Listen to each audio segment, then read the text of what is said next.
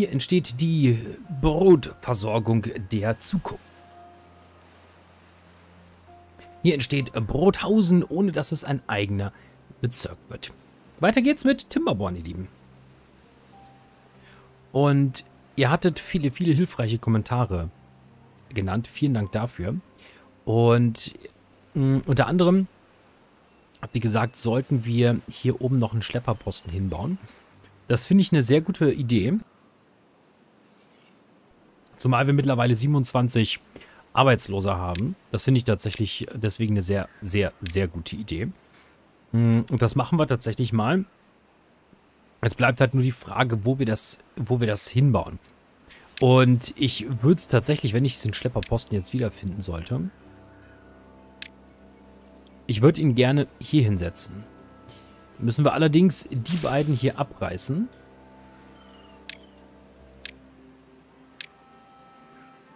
Die reißen wir bitte ab. Und hier vorne bauen wir dann den Schlepperposten hin. Das müsste dann tatsächlich hoffentlich ausreichen. Okay, ansonsten, ihr habt auch wieder viele Ideen gehabt. Unter anderem auch hier oben noch eine Reihe draufzusetzen. Und dann hier das Ganze zum Beispiel auf zweieinhalb einfach zu erhöhen, sodass wir den gesamten Bereich hier benutzen können als Wasserreserve, beziehungsweise ähm, könnten wir auch einfach hier weiter bauen und den Bereich benutzen. Da gebe ich euch durchaus recht und nicht nur durchaus, sondern eigentlich sogar zu 100 Prozent. Wir können das hier eigentlich auch, also wir können es im Prinzip beliebig hochbauen. So, das ist im Prinzip, das ist der Punkt. Ich würde aber stattdessen äh, tatsächlich den Weg hier mal ein bisschen abkürzen und hier einen direkteren Weg bauen. So, das bedeutet auch, dass wir die Kartoffelfelder hier unten mal abreißen müssen, damit wir auch unabhängig von dem Weg hier oben sind. Denn der stört mich tatsächlich. Ich möchte halt hier vorne einen vernünftigen Weg hin haben, der unabhängig von dem Bereich hier ist. Das bedeutet aber auch, dass die beiden Kartoffelfelder daran glauben müssen. Und die Kartoffelfelder müssen bitte auch dran glauben. Und der Weg hier muss auch dran glauben. Das kommt erstmal alles, das kommt erstmal alles weg. Und wahrscheinlich muss auch der hier dran glauben und überhaupt diese ganze Konstruktion. Das müssen wir nochmal, nochmal sehen. Aber ich möchte definitiv dort in diese Richtung weitergehen und jetzt gehen wir mal wieder auf höchste Geschwindigkeit, damit wir hier auch vernünftig weiterkommen. Das bitte hat für mich absolute Priorität. So. Dann gehen wir erstmal unsere Bezirke durch und schauen mal, was wir da zu machen haben. Also Projekt 42 ist dabei. Die Wege habe ich, glaube ich, jetzt auf Projekt 42 alle gebaut, oder? Nein. Da geht es noch weiter. Aber wir sind ja so und so noch nicht ganz fertig. Ganz davon abgesehen geht es da nicht weiter. Da könnten wir auf das Projekt 42 noch ein kleines Treppchen bauen. Dann machen wir den Weg mal da lang. Tja, jetzt ist die Frage, die kommen dann hier lang, da lang. Hier geht's lang, das passt. Da müssen wir noch abholzen, das müssen wir dann aber machen, wenn wir überhaupt dazu in der Lage sind. Dann bauen wir hier die Wege weiter. Und dann haben wir im Prinzip die Wege auch schon fertig. Okay, gut. Dann kann ich mir da einen Haken hintermachen auf meine ominöse Liste in OneNote. Und ihr hattet auch gesagt, die Wasserpumpen würdet ihr hier tatsächlich auf... Haben wir es denn? Auf Plattform setzen, allgemein und auch ein bisschen höher. Ja, ich bin mir halt bei den, bei den äh, Sachen hier noch nicht ganz sicher. Also, ich habe grundsätzlich eine Idee beim Wasser, was wir hier machen könnten. Also, dazu zoome ich mal ein bisschen raus und gehe mal in die Richtung. Beim Wasser könnten wir hier vorne etwas bauen. Hier, in diesem Bereich. Dass wir diesen Bereich nochmal separat abtrennen tatsächlich. Unser Projekt 42 geht jetzt hier lang. Und der ganze Bereich ist ja dann irgendwie noch gar nicht benutzt. So, folgende Idee. Wir lassen die Wasserpumpen tatsächlich hier so, wie sie sind. Beziehungsweise wir bauen das im schlimmsten Fall nochmal um. Ich habe ja vor, hier hinten, und wir haben ja das Projekt 42 schon maßgeblich verkleinert. Hier hinten wollen wir ja einen Wasserauslass machen und von hier aus, deswegen muss er langfristig dann wiederum wechseln nach hier, damit wir dann hier die notwendigen Biber haben, um das hier zu bauen. Aber das ist eine Sache für später, deswegen das ist halt auch nur ein temporärer Distrikt.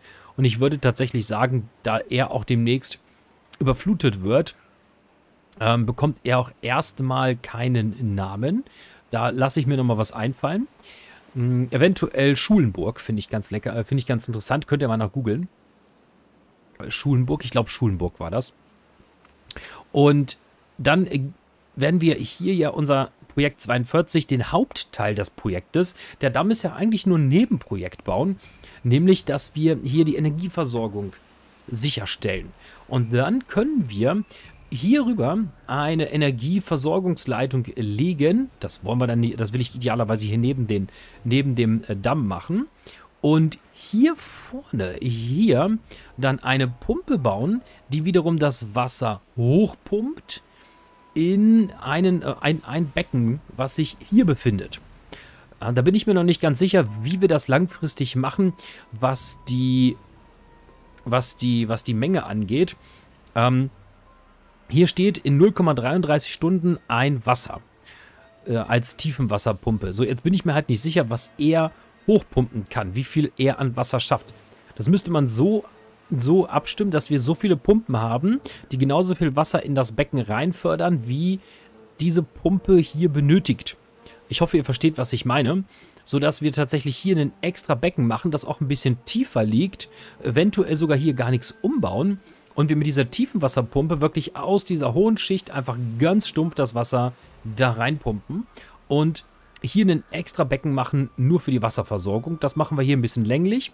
Das, dann sprengen wir uns hier wahrscheinlich sogar noch ein bisschen mehr. Deswegen würde ich hier diese Sprengung sogar mal sein lassen. Auch das mit diesem Damm, der hier lang geht, das planen wir auch nochmal komplett neu. Da bin ich auch noch überlegen, wie wir das besser machen können.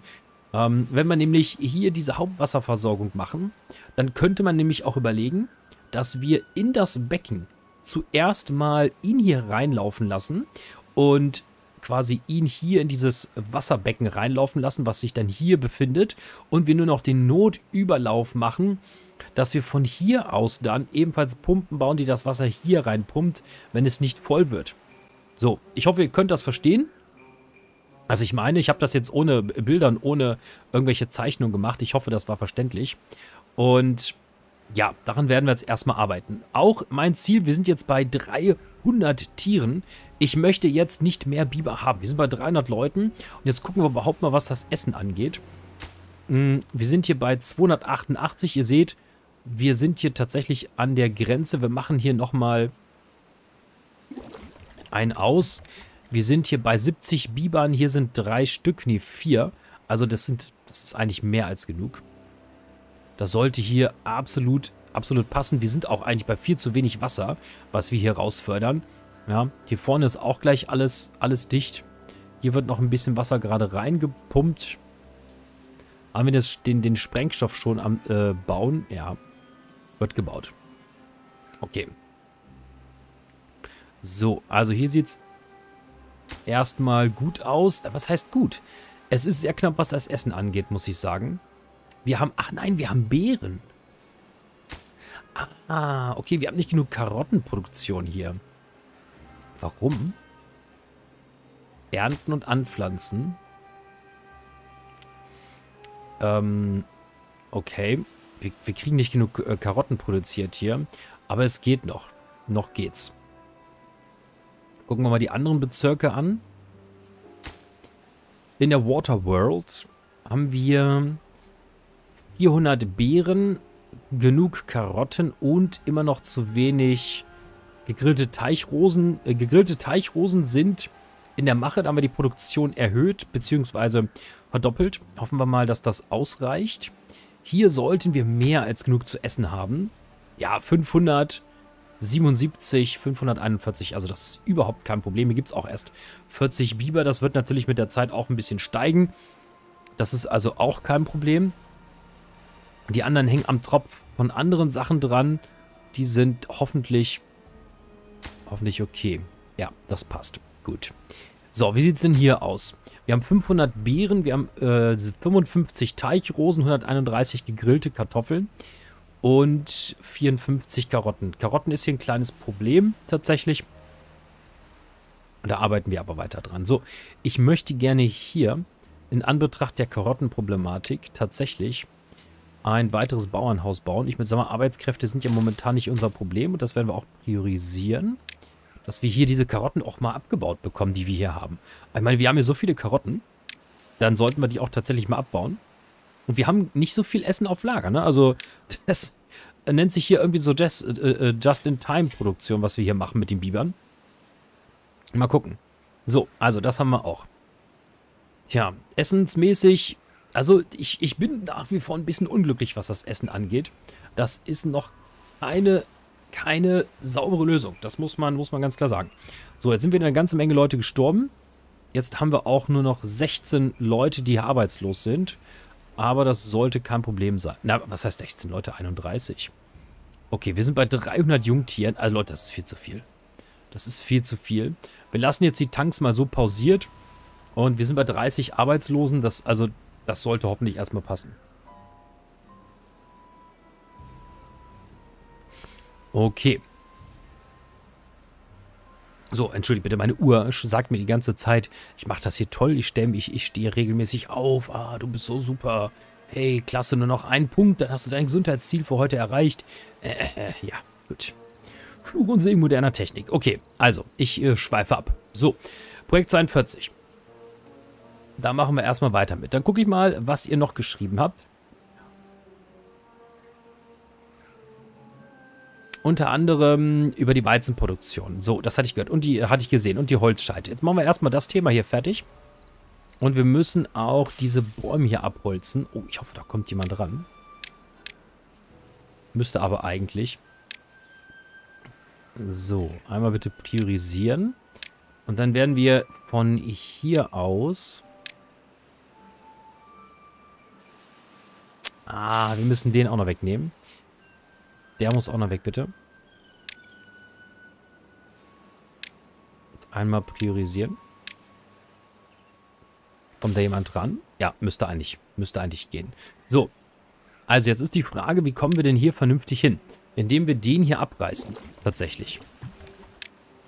Und dann bauen wir den Weg hier lang. Das ist jetzt ein bisschen ein Umweg hier lang. Ja. Die Frage ist, ist das jetzt noch wichtig? Ich meine nicht. Ich meine nicht. Nee. Also, dann bauen wir hier. Den nicht ganz so hoch. Und wir müssen den Weg hier tatsächlich wegsprengen. Ah, das ist... Mh. Hm. Wir machen das anders.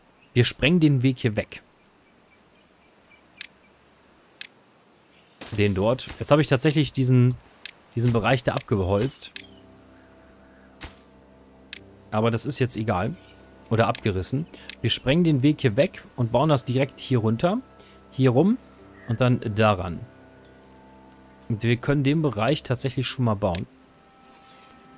Das geht. Dann eine 1er Plattform hier lang. Und ab hier 2er Plattform nach da.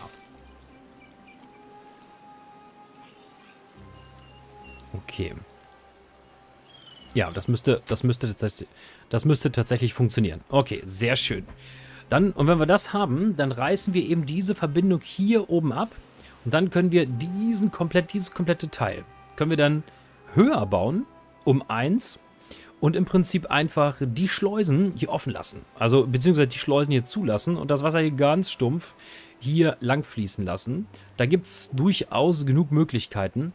Ähm, hier könnten wir das auch noch, hattet ihr gesagt, hochbauen, hier zumachen und dann hier auf zweieinhalb tatsächlich stellen. Das wäre halt auch eine Möglichkeit. Das finde ich auch tatsächlich eine gute Lösung dann hätten wir hier nochmal 0,5 mehr drin. Das heißt, wir machen hier noch zu, hier zu und dann haben wir alle Tanks tatsächlich noch ein bisschen, noch ein bisschen höher gemacht. Das finde ich, das finde ich erstmal nicht schlecht. Und wir sollten da oben tatsächlich genug Wasser speichern. Ähm, ich denke, wir würden durch eine 100, durch eine 30 äh, Tage kommen, aber tja, müssen wir mal schauen. Okay. Also das ist der Punkt. Dann äh, gehen wir mal die Holzscheite durch. Wir müssen checken, ob die Holzproduktion, die von Baumhausen ja maßgeblich vorangetrieben wird. Oh, der ist auch fertig. Wunderbar. Bitte Karotten ernten. Passt. Und die Karottenproduktion hat sich just in dem Moment tatsächlich erhöht. Also Baumhausen ist tatsächlich noch ein bisschen problematisch. Ich würde sogar so weit gehen, dass ich noch ein bisschen mehr Beeren anpflanze hier. Aber wir schweifen ab. Aber das muss sein. Ansonsten kriegen wir Probleme. So. Also Beeren. Wir sind nach wie vor übrigens gerade mal bei der Basisrohstoffproduktion. Das ist der Wahnsinn. Also durch dieses riesige Projekt, was wir hier haben, wo mittlerweile 300 Biber benötigt werden, um das hier zu stemmen vernünftig. Ja, schon krass. Und es ist noch kein Ende in Sicht. So, aber davon ganz abgesehen. Also, du bist für Waterworld, Beverly Hills und Neu-Biberdam verantwortlich. Du hast noch nichts. Dann werden wir das einmal erhöhen, bitte. Habe ich hier nicht genug Biber? Willst du mir ernsthaft sagen, dass ich hier keine arbeitslosen Biber mehr habe? Hatte ich da gerade nicht noch 16? Wo sind die denn alle hin? Da sind 18 Arbeitslose. Da sind 5.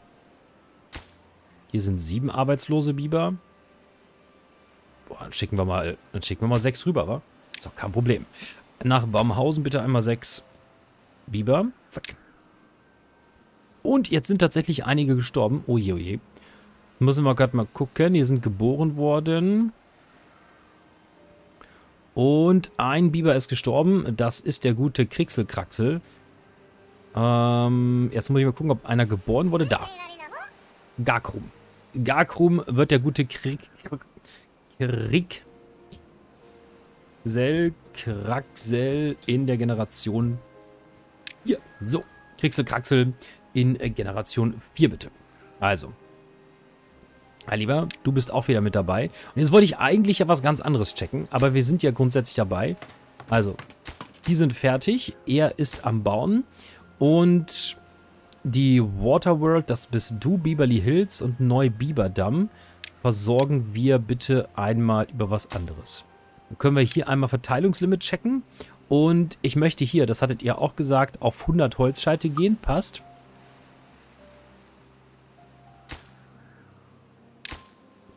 Einmal dahin bitte Holzscheite liefern. So, dann sind wir, jetzt muss ich gerade mal gucken, einmal, einmal hier. Einmal Holzscheite bitte. Mein Grillkartoffeln kannst du auch gerne liefern, das bringt denen hier aber leider nichts. So. Und wir sind bei 10. Ja, das ist kein Problem. Hier brauchen wir wahrscheinlich nicht so viel. Wir können das erhöhen auf 20.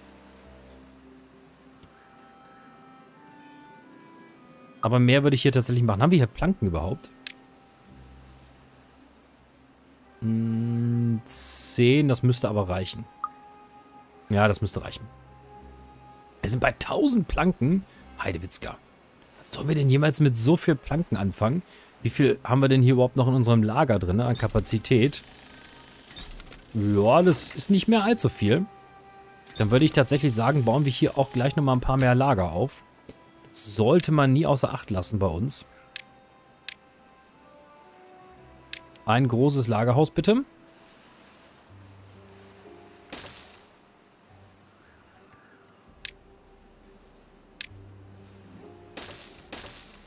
So. In unserem Lagerhauskomplex geht es da auch weiter. Gut. Also, das haben wir. Dann, hier haben wir das eingestellt. Hier sind wir, glaube ich, schon bei 200. Hier hatte ich, glaube ich, schon 200 Holzscheite eingestellt. 150. Ja, das sollte reichen. Wie viel, wie viel haben wir hier drin? 100. Dann müssten tatsächlich die hier jetzt nach Timberland reisen die ganze Zeit und kontinuierlich Holzscheite hinbringen. Das sollte, das sollte funktionieren. Hier bauen wir ja auch gerade wieder eine ganze Menge. Deswegen wird hier auch natürlich eine ganze Menge benötigt. So, wunderbar. Also, hier unten haben wir eine Holzproduktion. Ja, dann sollten wir hier tatsächlich mal ein Holzlager bauen. Das würde ich ungern hier hinsetzen. Das ist halt die Frage, wo wir das hinbauen.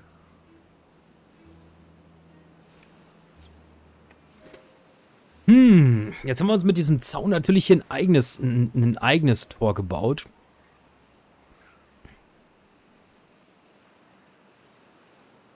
Den möchte ich auch ungern, das möchte ich auch ungern abreißen, weil ich das doch ganz schick finde. Wir sind hier bei, ja, Wohnung wird auch langsam eng. Also da müssten wir auch nochmal nachlegen. Hm, hm, hm, hm. Davon mal ganz abgesehen, dass wir hier noch nicht genügend Arbeiter drin haben. Um Gottes Willen.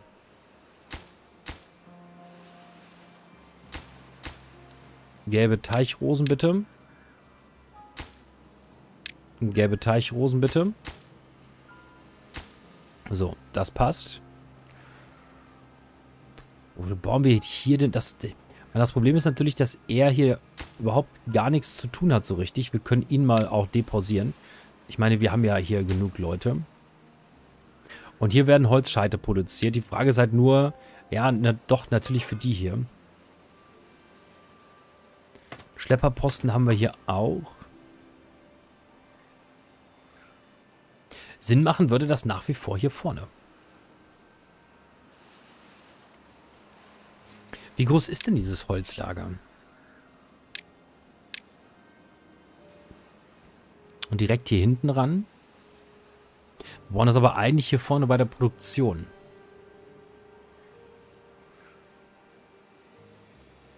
Wir bauen das hier hinten. Wir bauen das dahin. Prioritäten gehen wir gleich mal durch. So, dann haben wir das Thema. Dann gucken wir hier auch nochmal nach dem Holz, was wir hier eingestellt haben. Das ist einmal hier. Da dürften wir eigentlich gar nichts mehr bekommen. Holzscheite sind wir bei 20. Wir machen das mal auf 100 hoch. Aber hier dürften wir eigentlich gar keine aktive Route mehr haben. Nein. Wasser aus Timberland. Ja. Sollten wir mal überlegen, ob wir das tatsächlich canceln. Obwohl Wasser aus Timberland, das lassen wir lieber. Die Wasserrouten finde ich sehr praktisch. Das sind nämlich so diese Notwasserrouten, wenn es irgendwo mal knapp wird. Wie hier. Mit 26 wird es schon eng. Aber wir haben noch dreieinhalb Tage. Aber das Problem ist wirklich, unsere Wasserversorgung in meinen Augen steht immer noch auf wackeligen Füßen. Warum? Weil der Teich hier mittlerweile einfach zu klein ist. Also es ist einfach zu wenig Platz jetzt mittlerweile hier vorhanden für das Speichern von Wasser. Wir müssten kurzfristig sogar in meinen Augen das hier wegmachen und das erhöhen, damit hier einfach mehr Wasser, mehr Wasser gespeichert werden kann. Das ist auch übrigens das, was ihr gesagt hattet, dass wir unbedingt gucken müssen, wie wir die Wassermenge dort einspeichern. Ähm, Wasserproduktion temporär umziehen lassen, den Deich erstellen, vielleicht Prototyp in geringerer Höhe, um mal zu gucken, ob das überhaupt passt und ob wir diese Quelle da überhaupt brauchen. Ich denke, wir brauchen sie, aber das ist halt eins unserer größten Probleme im Moment, dass wir gar nicht wissen, ob diese Quelle ausreicht, weil wir auch gar nicht wissen, ob wir das alles machen. Deswegen checken wir jetzt mal die Prioritäten. Priorität 1, ganz klar das hier. Das ist, äh, das ist soweit klar. Und wenn wir das hier haben, dann können wir eigentlich auch den Rest machen. Und dann checken wir nochmal die Prioritäten hier. Der Deich wird gebaut. Das hier hat in meinen Augen auch Priorität. Warum? Wir müssen hier hinten das Ganze dicht kriegen.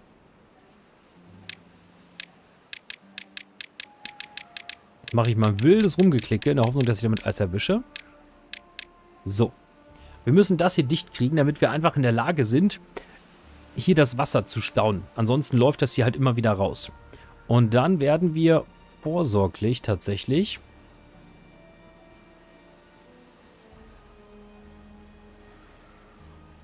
eine weitere Stufe bauen.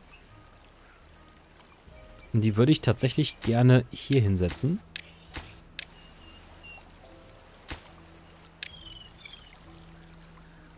An die Stelle. Die möchte ich gerne ein bisschen höher machen. Idealerweise auf die Höhe hier. Wozu wir auch immer das dann brauchen. Aber ich möchte das auf jeden Fall erstmal auf die komplette Höhe machen. Und das bekommt auch tatsächlich die absolute Top-Priorität im Moment. Wir machen eine Dreifachschleuse. Ich weiß nicht, ob wir da so viel von brauchen. Ob wir wirklich erstmal nur zwei machen. Machen wir drei. Einmal da lang.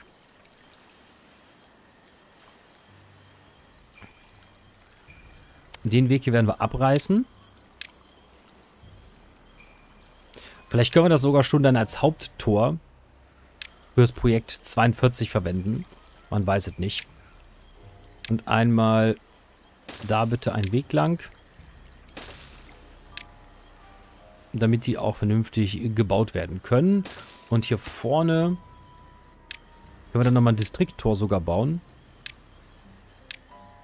Dann geht es da nämlich auch nochmal vernünftig weiter. So. Und das bekommt die absolute Top-Priorität. Damit wir hier mal Wasser speichern können. So, also das wird bitte zuerst gebaut.